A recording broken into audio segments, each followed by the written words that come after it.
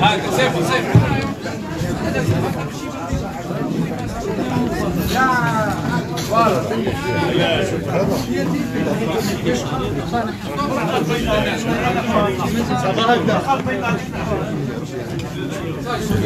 خلاص راك موجدين أيوه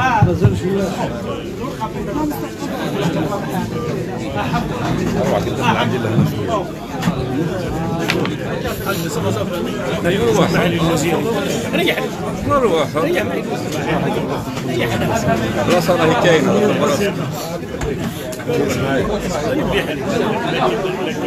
خلاص ليه ولا خلاص راك موجدين يدخل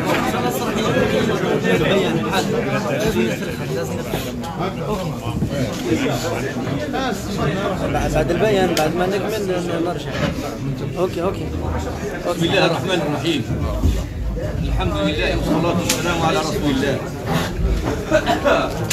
أولا اسمحوا لي في البداية أن أنبه لأمر أقدر أنه بالغ الأهمية.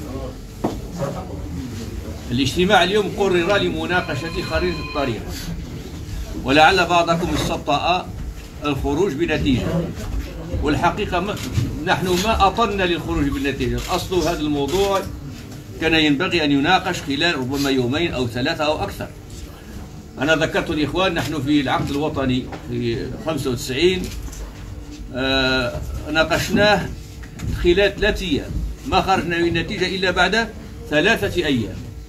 فقدروا إذن آه الجهد الكبير الذي بذله إخوانكم اليوم حيث استطاعوا أن يخرجوا بتصور خلال ساعات معدودات.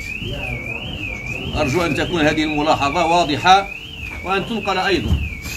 الأمر الثاني قد ذكرت في البداية أن هناك بعض الأعضاء من المحامين غابوا بسبب آه، المسيرة الوطنية للمحامين التي نظمت اليوم. بعضهم التحق لاحقا لكن أكثرهم يبدو ما استطاعوا الالتحاق يعني. لكنهم آه، مع هذا الفضاء يؤيدون ما يصدر عنه. الملاحظة الثالثة نحن لما أطلنا هناك البعض قد خرج. لأنه كانت عنده التزامات مسبقة وهو ملتزمون بما نتوصل إليه. واضح هذا الشيء؟ هذه ملاحظات أساسية أرجو أن وهناك من غاب بعذر كان في سفر مثل الأستاذ رحابي مثلا و... والأستاذ بن عبو نعم. بن عبو, بن عبو كذلك غابت بعذر وبعثت عذرها لهذا الفضاء. إذا هذا الفضاء متماسك ومتوسع في نفس الوقت. بعد هذه الملاحظات أقرأ نص البيان. عنوانه اللقاء التشاوري السادس لفعاليات قوى التغيير لنصرة خيار الشعب. إن المجتمعين من شخصيات وطنية وأحزاب ونقابات ومثقفين وفاعلين سياسيين بمقر جبهة العدالة والتنمية بباب أحسن الجزائر بتاريخ 17 رجب 1440 هجري الموافق 23 مارس 2019 واستمرارا للقاءات التشاورية السابقة الداعمة للهبة الشعبية السلمية وبعد نقاش تشاوري مفتوح ومسؤول خالص خالصوا إلى ما يلي. أولا تسمية جلسات التشاور التشاور بفعاليات قوى التغيير لنصرة خيار الشعب. ثانيا توجيه نداء للشعب الجزائري للاستمرار في الحراك والانتباه لكل محاولات اختراق أو الإضعاف أو الالتفاف حول مطالبه وألا يتوقف عن ذلك إلى غاية تحقيق مطالبه. ثالثا اقتراح خارطة الطريق لحل سياسي في إطار الشرعية الشعبية المنصوص عليها في المادة السابعة من الدستور وتنفذ بعد انقضاء العهدة الر- الرئاسية الحالية وتتمثل في ألف الإقرار بمرحلة انتقالية قصيرة يتم فيها نقل صلاحية الرئيس لمنتهي عهدته لهيئة رئاسية باء دعوة مؤسسة الجيش الوطني الشعبي للاستجابة لمطالب الشعب والمساعدة على تحقيقها في إطار احترام الشرعية الشعبية. التاء تشكيل الهيئة الرئاسية من شخصيات وطنية مشهود لها بالمصداقية والنزاهة والكفاءة. تتبنى مطالب الشعب ويلتزم أعضاؤها بالامتناع عن الترشح أو الترشيح في الاستحقاقات الانتخابية اللاحقة. جيم تتولى الهيئة الرئاسية صلاحية رئيس الدولة وتقوم بالمهام التالية. واحد تعيين حكومة كفاءات وطنية لتصريف الأعمال. اثنين إنشاء هيئة وطنية مستقلة لتنظيم الانتخابات. ثالثا تعديل قانون الانتخابات بما يضمن إجراء انتخابات حرة ونزيهة. دال اتفق الحضور على الاستمرار في المشاورات حول القضايا والخطوات المكملة لها بما يضمن تحقيق مطالب الشعب. ها تحدد فترة تجسيد بنود خارطة الطريق في أجل لا يتجاوز الستة أشهر. واو يؤكد الحضور على الاستمرار في النقاش حول خارطة الطريق لوضع التفاصيل اللازمة والآليات المناسبة لتحقيق مطالب الشعب واستعدادهم لدراسة مقترحات أخرى تلبي مطالب الشعب. زاد التنديد بالحملة التي يقوم بها وزير الخارجية عبر مختلف الدول الأجنبية والرامية إلى تشويه الهبة الشعبية السلمية والالتفاف حول مطالبها. أشكركم وبارك الله فيكم.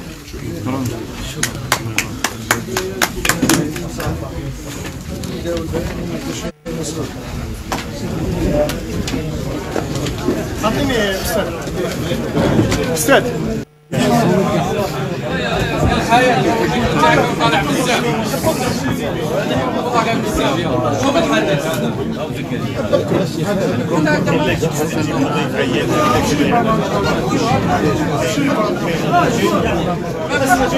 عياني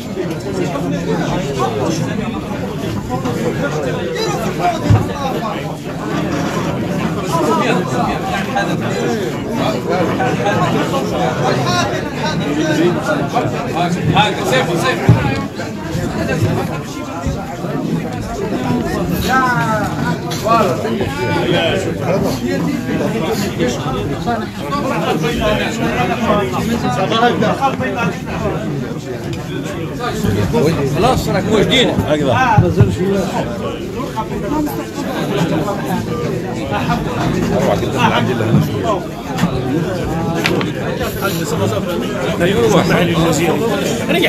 نروح خلاص راهي كاينة كاينة بلاصه ليه ولا ما كاين؟ خلاص راك موجدين يدخل بعد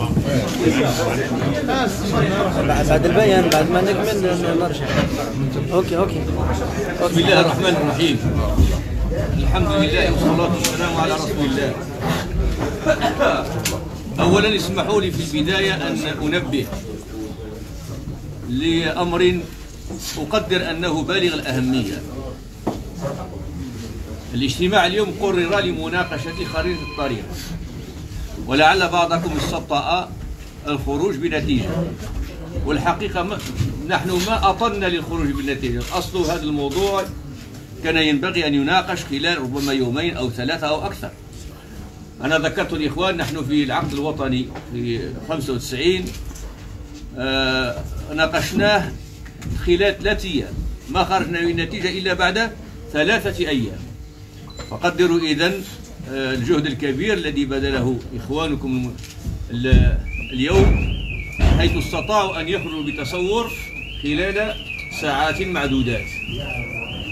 أرجو أن تكون هذه الملاحظة واضحة وأن تنقل أيضا.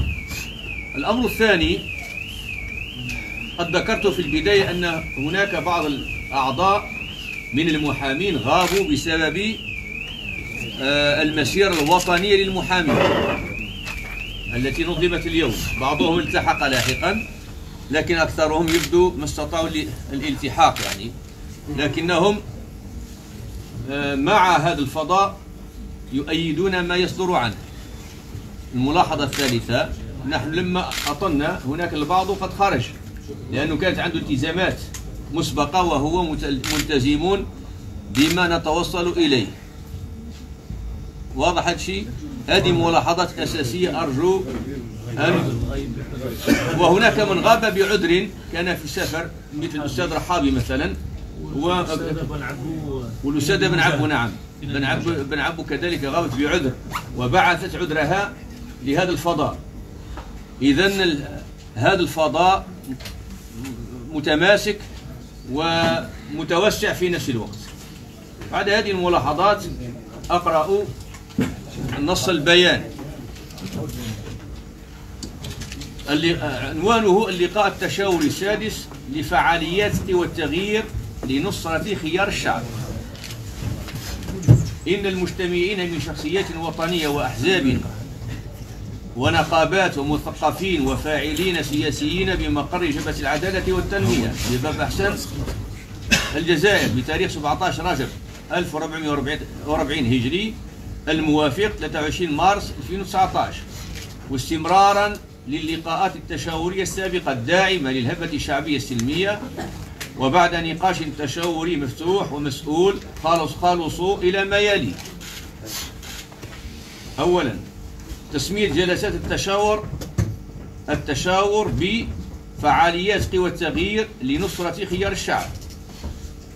ثانيا توجيه نداء للشعب الجزائري للاستمرار في الحراك والانتباه لكل محاولات اختراق أو الإضعاف أو الالتفاف حول مطالبه وألا يتوقف عن ذلك إلى غاية تحقيق مطالبه.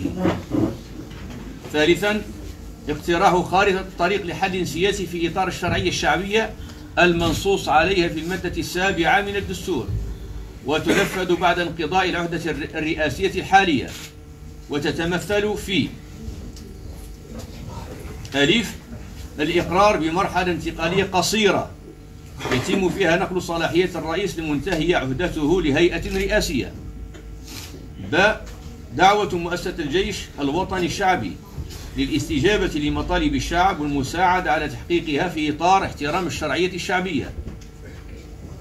التاء تشكيل الهيئة الرئاسية من شخصيات وطنية مشهود لها بالمصداقية والنزاهة والكفاءة تتبنى مطالب الشعب ويلتزم أعضاؤها بالامتناع عن الترشح أو الترشيح في الاستحقاقات الانتخابية اللاحقة.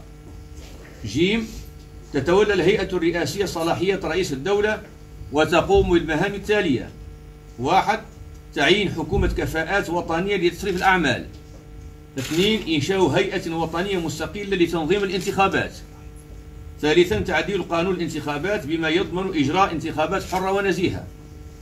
دال اتفق الحضور على الاستمرار في المشاورات حول القضايا والخطوات المكملة لها بما يضمن تحقيق مطالب الشعب. ها تحدد فترة تجسيد بنود خارطة الطريق في أجل لا يتجاوز الستة أشهر. واو يؤكد الحضور على الاستمرار في النقاش حول خارطة الطريق لوضع التفاصيل اللازمة والآليات المناسبة لتحقيق مطالب الشعب واستعدادهم لدراسة مقترحات أخرى تلبي مطالب الشعب.